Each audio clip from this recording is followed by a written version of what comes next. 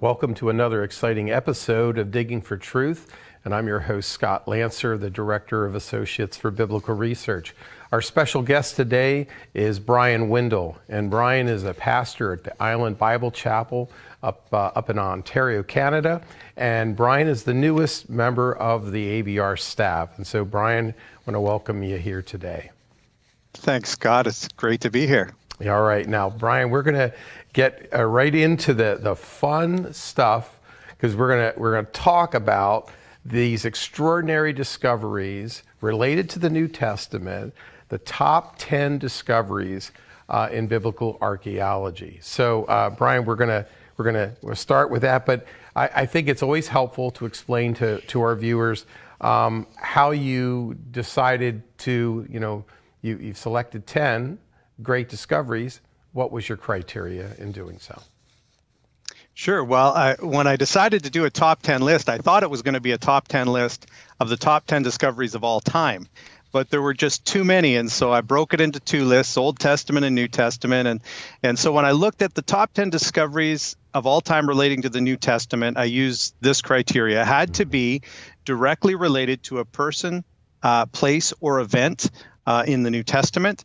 Um, or secondly, it had to be directly related to the composition of the New Testament itself. And I should probably note before we begin that I've focused on uh, artifacts and inscriptions and discoveries that are largely accepted by the um, by the academic world, and so I've avoided ones that are debatable or, or highly controversial, like um, the tomb of Jesus, which site is the tomb of Jesus, or the James ossuary, or the Shroud of Turin. And so you won't see those in this list. There are some good articles at BibleArchaeology.org on those, and I have my own feelings on them, but I tried to narrow my list for this one. Very good. Very good. Well, let's begin by counting, town, uh, counting down the uh, top 10 discoveries for the New Testament. Um, which ones did you choose for number 10 and number 9? Well, number 10, I chose the Sergius Paulus inscriptions. And um, in Acts chapter 13, we read about how Saul and Barnabas set off on a mission trip and ended up on the island of Cyprus. And when they arrived at Paphos, we're told that they led the proconsul Sergius Paulus to faith in Christ. Hmm. And there have been numerous Sergius Paulus inscriptions that have been discovered. Hmm. Uh, one was discovered in 1877 near Paphos, which mentions the proconsul Paulus. Another one um, was found from a few years later that, that names Lucius Sergius Paulus as one of the uh, curators of the Tiber River uh, under the Emperor Claudius.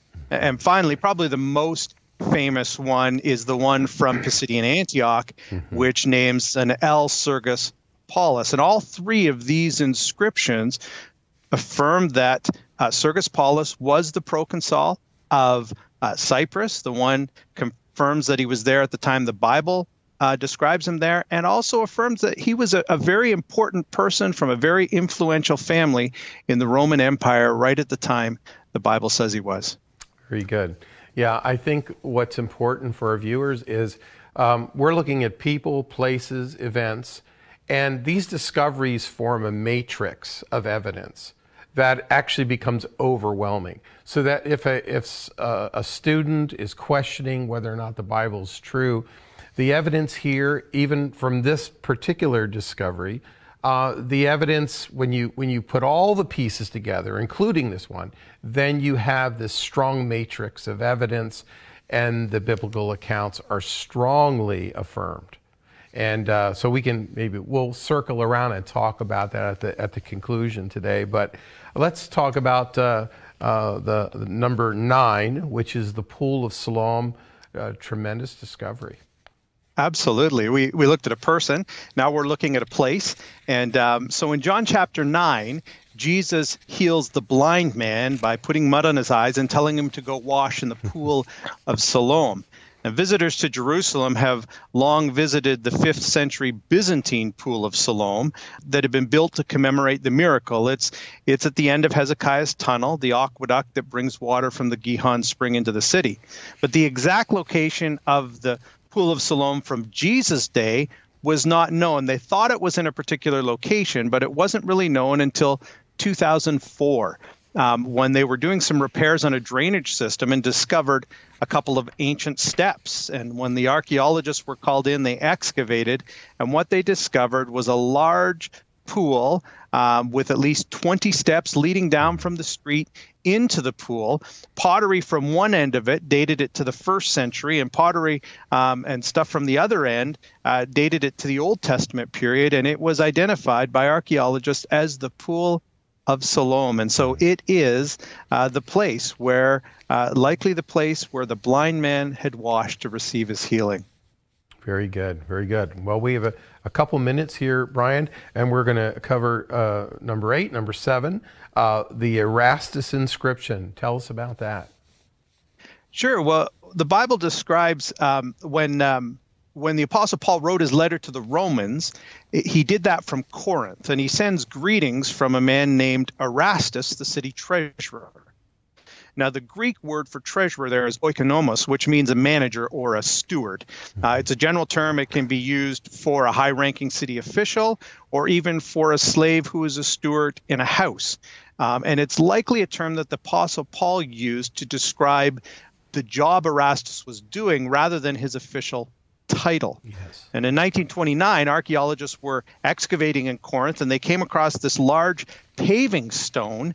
And on it was this um, inscription that says Erastus, in return for his aedileship, laid this pavement at his own expense. And those seven inch high letters would have been filled with bronze at one time. They're mm. gone now.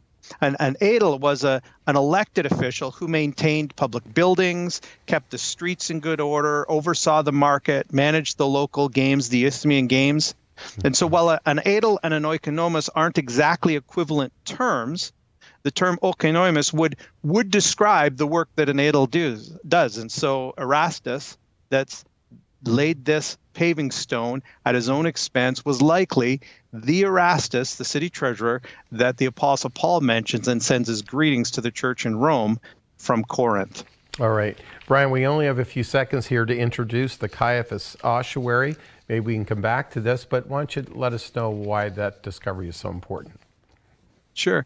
Well, an ossuary is a stone box that, uh, for a very brief period in history, in the first century AD, Jews would would would take the bones of the deceased and put them in these bone boxes. And so, mm-hmm. um, on this particular bone box, they discovered the name of Caiaphas. It was discovered in 1990 uh, by a, a construction uh, team that was building a water park, actually. A bulldozer plowed through the roof of a first century tomb. In came the archaeologists. They found this ossuary that had the bones of a 60 year old man in it. Yeah. And Josephus records that the full name of, Jos- uh, of Caiaphas was Joseph Caiaphas, and on this ornate um, ossuary was the, the phrase Joseph, son of Caiaphas. And scholars think this is the very st- bone box and even the physical remains of the high priest who presided over the trial of Jesus in the Gospels. Very good, Bryan. All right. Well, we appreciate everyone tuning in today for, to, for this fascinating discussion, and we will be right back.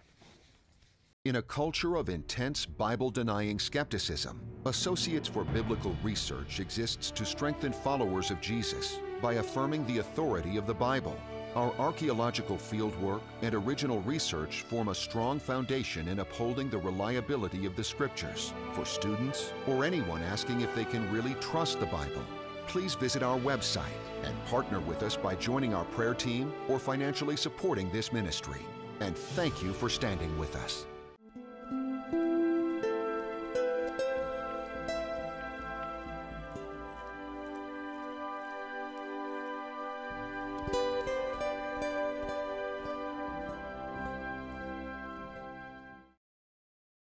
Well, welcome back to Digging for Truth. Uh, we're here today with Bryan Windle, and we're talking about the top 10 discoveries in biblical archaeology that relate to the New Testament. And we're right in the middle of the list, Bryan. Uh, we want to talk about uh, number six and then number five. Uh, number six being the temple inscription. So, why don't you tell us a little bit more about that? Sure. Well, when you read the Gospels, you see that Jesus spent a lot of time uh, at the temple with his disciples. And so, uh, any discoveries related to the temple, um, the Jewish holy site, are of utmost importance. And two inscriptions have been found. Uh, the first one is called the Temple Warning Inscription. Um, Josephus describes the temple in great detail, and he describes how um, a Gentile like me, if I was to get in a time machine and go back to uh, first century Jerusalem, I could only go into the court of the Gentiles. And then there was this mm-hmm. wall with these warning inscriptions warning that Gentiles couldn't go any further on pain of death. And we have actually found one of those inscriptions uh, was discovered in 1871. It reads, "No foreigner is to enter within the railing and enclosure around the temple, and whoever is caught will be responsible for his subsequent death." I mean, think about this: Jesus would have walked past this particular stone probably numerous times. And um, the temple warning inscriptions also help explain why in the book of Acts um, the Jews were so furious when they mistakenly thought that Paul had brought Trophimus the Ephesian past that mm-hmm. um, past that uh, wall into the inner uh, sanctuary. And the other thing that's really interesting is that when Paul talked about the dividing wall of hostility being taken down in, in this book of Ephesians, most scholars think he's probably referring to that wall that barred the Gentiles from going to worship further where the Jews could worship. And so mm-hmm. the temple warning inscription is an important one. There's another one, the, the trumpeting inscription um, in 68. Archaeologist Benjamin Mazar uh, discovered a three foot long piece of uh, stone, a block that had fallen from, been thrown from the temple courts above when the Romans destroyed Jerusalem in 70 AD. And on it was an inscription that said, To the place of trumpeting. Again, Josephus describes how the priests would blow the tum- trumpets. And so these two um, inscriptions are the clearest archaeological evidence we have testifying to the second temple mm-hmm. and really the closest we can get to that hallowed place of Jewish worship in the first century, the place Jesus was really familiar with. Amen. Amen. All right. Well, let's keep moving. Number five is the Nazareth inscription.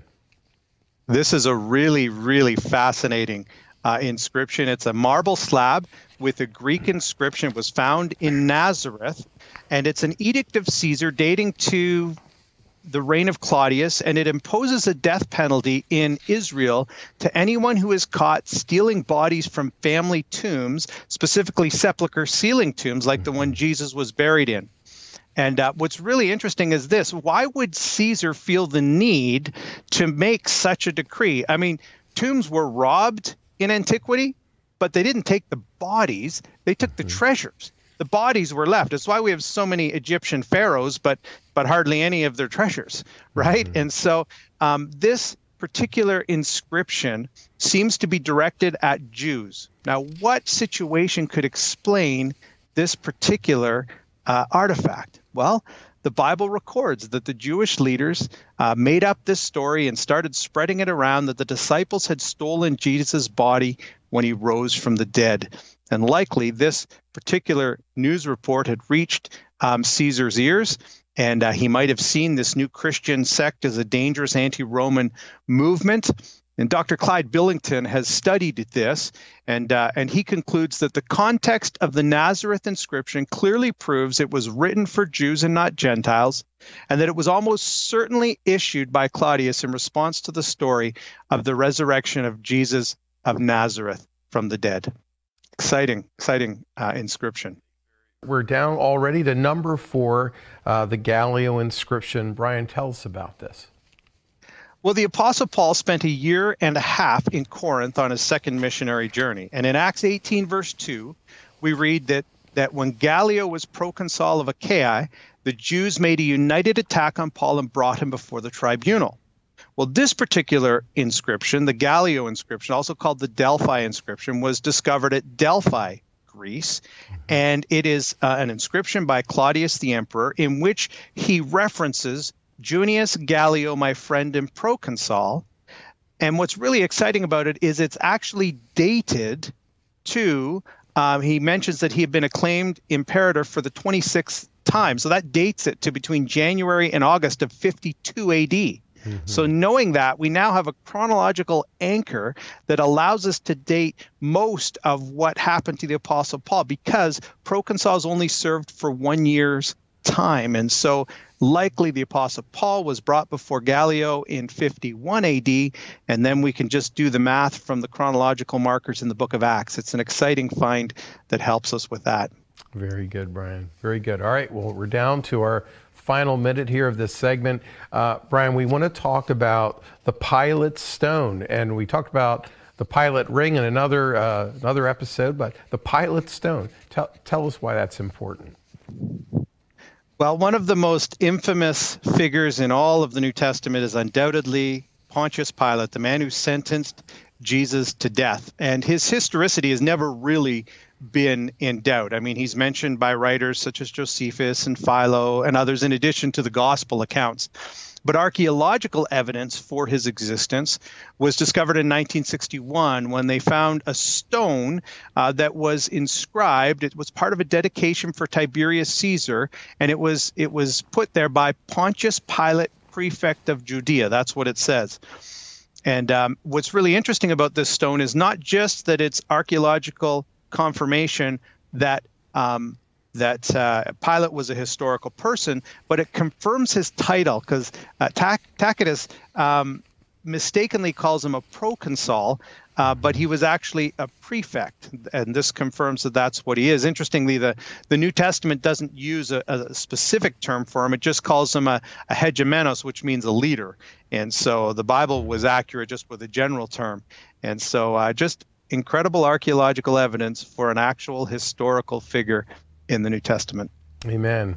Very good, Bryan. Well, we, we are here today with Bryan Windle, and we're talking about the top 10 discoveries in biblical archaeology related to the New Testament, and we will be right back. Bible and Spade is a non technical quarterly publication published by the Associates for Biblical Research. Written from a scholarly and conservative viewpoint, Bible and Spade supports the inerrancy of the biblical record and is a must read for both the serious Bible student and anyone asking if they can really trust the Bible. Archaeological evidence, properly interpreted, upholding the history of the Bible. Subscribe today at BibleArchaeology.org.